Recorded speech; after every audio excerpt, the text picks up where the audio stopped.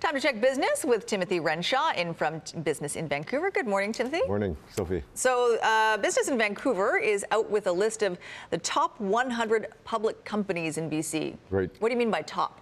Well, uh, we do this every year. We uh, calculate uh, the revenue of the companies, all the companies in BC, and we rank them by that and come up with the biggest companies in uh, in BC. So, So, who are tops?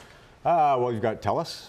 Okay. Uh, you've got, um, if you look at the list, we kind of, uh, in addition just to listing them, we kind of uh, do some analysis of what that really means. I mean, we've been doing it for a long time, so we can compare from um, 10 years ago to today and, and kind of get a, a measure of how the, the economy is doing and how it's changing since Okay. then. So, Okay, so what does it tell you?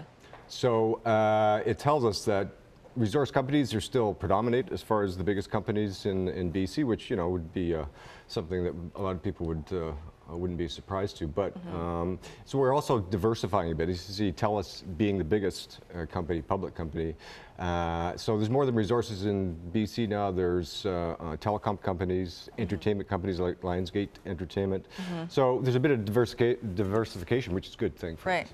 You're seeing those uh, those those uh, companies starting to move upwards. Yeah, you're starting to get, instead of just mining and forestry companies, in the top 20, you've got uh, those kind of entertainment and telecom companies, which is good. Right. We're looking at some of the the mining companies. Well, yeah, you can see that the, uh, the the mining companies have really benefited from the huge upswing in commodity Mm-hmm. sales around the world, right? So, um, so that, that's that's really positive. But you can see also see that some of the uh, commodity companies, or the uh, mining companies.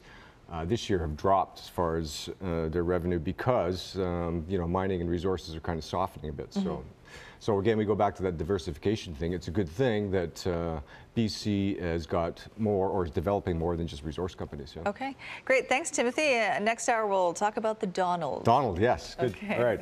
Timothy Renshaw from Business in Vancouver. You can get more at biv.com.